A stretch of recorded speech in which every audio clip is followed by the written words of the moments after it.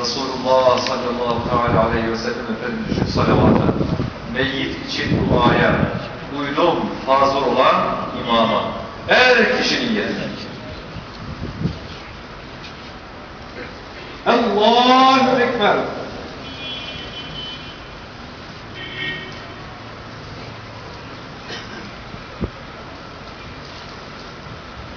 Allahu Ekber.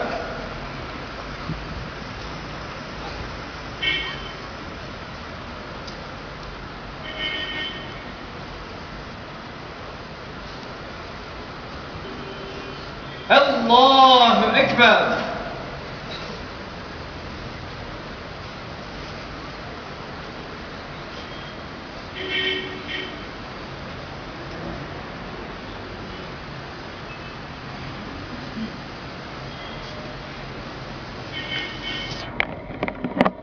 Allahu Ekber.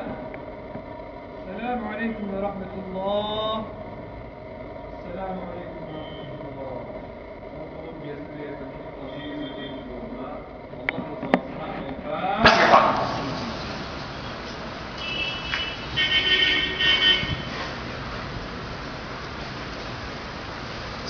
billahi, bismillahirrahmanirrahim. Küllü nefsine gâreketül mevt, sümme ileyna turca'un, sallallahu aleyhi. Saygıdeğer.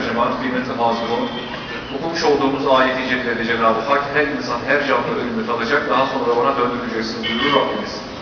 Bugün Cenab-ı Hakk'ın rahmetine, mağfiretine, vatanımızın tertemiz topraklarına tevdi edilecek olan merhum Gezir Beyefendinin sizlerden bizlerden son olarak insani, İslami, komşuluk, akrabalık, dostluk, akrabalık, haklarınızı yerine getirmenizi bekliyorum. Şimdi sizlere soruyorum. Maddi ve manevi, dünyevi ve uhrevi haklarınızı lütfen kendisine helal eder misiniz? Helal.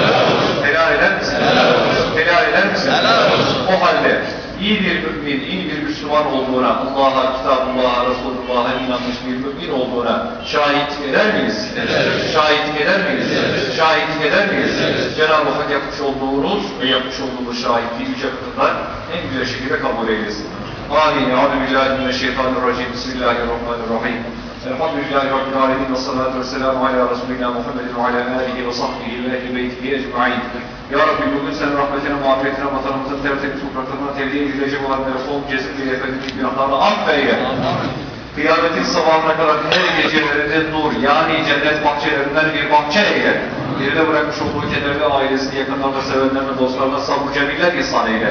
Dua şu an duamıza el açıp amin diye saygıdeğer cemaatin, bizlere vasiyet edenlerin, bizi duadan unutma diyenlerin, bizlere değil vatan, bayrak, senlik sevgisi aşılayan kahraman ruhlarımızın, şehitlerimizin, ecdadımızın, isimleri tarihe mal olmuş din ve devlet büyüklerimizin de ruhlarının şad olmasına, Allah rızasına El Fatiha.